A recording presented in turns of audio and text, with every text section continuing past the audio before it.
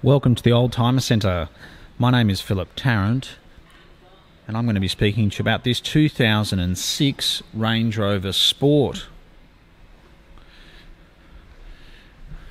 It's a Range Rover Sport supercharged, which means it comes with a 4.2 litre supercharged V8 engine, which produces about 270 kilowatts of power.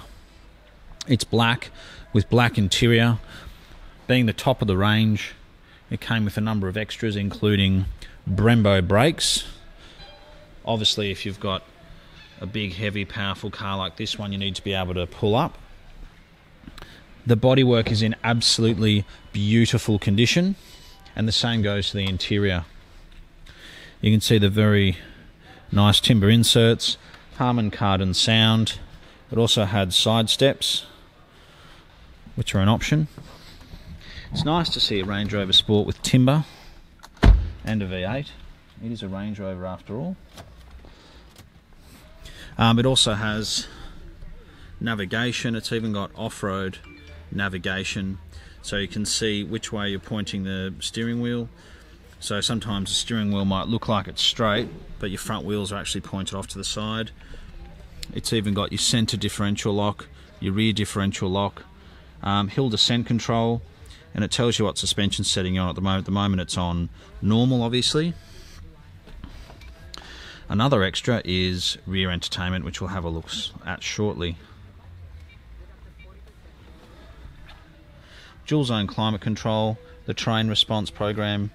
So at the click of a button, you can go to gravel, snow, mud ruts, etc. It also had Bluetooth, which was very early on, 2006. Not many cars had Bluetooth at the time. I'll leave that. I'm just going to leave that key in so we can see the entertainment in the back. It's done 141,000 kilometres. It's also got the very nice factory rubber mats, which seem to be the only rubber mats which actually look any good. Uh, sorry, I've got no CDs in there at the moment but you can see it's got the factory screens in the back of the headrest there. Most of them are aftermarket because they were so expensive. It's got new Pirelli Scorpion tyres all round, and it's also got the larger 22 inch wheels. Personally, I actually quite like the factory wheels that are 20 inches, but uh, yeah, people really seem to like the 22 inch wheels. Um, the carpets are also excellent. It's got the rear luggage cover, which is great. It may sound like an odd thing to say, but it hasn't had pets in it. Unfortunately, if you have had a wet dog in and out of the car over a period of time, that's a smell you'll never get rid of. It doesn't look like it's done a lot of towing. The supercharged Sport also came with this much larger nicer exhaust system with the chrome tips, the same as what's on the Jaguar XJR. It's got tinted windows. The leather is absolutely excellent. And if you're a fussy buyer, this is a car you should definitely come and have a look at. It's just been really well looked after, has some great factory options. It's always been a Sydney car and has been very well looked after.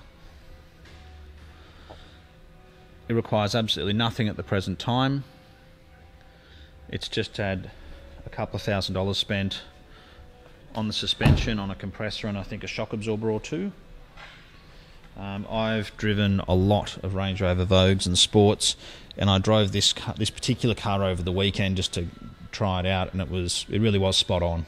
I had it up to speed. I had it on the freeway up to 110, and uh, drove absolutely beautifully.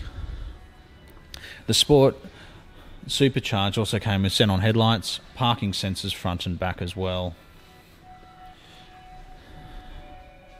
Uh, look, there's a lot of people who, who are concerned with the fuel consumption.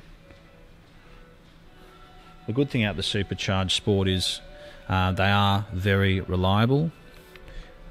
With diesels, the two, say the 2.7 litre in this era was very underpowered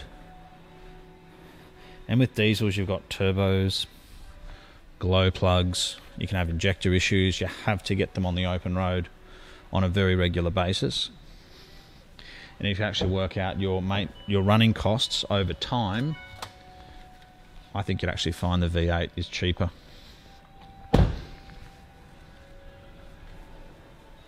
It also comes down to again how you drive it. I, I uh, averaged 16.4 litres per 100 kilometres. Um, that was a mixture of around town. I did some very brief highway driving. But I like the colour combination. I love the fact it's got some timber, as a Range Rover should. And it's a V8 petrol, which, again, I think a Range Rover should be. If you have any specific questions about the car, please give us a call. We're contactable on 0295699999.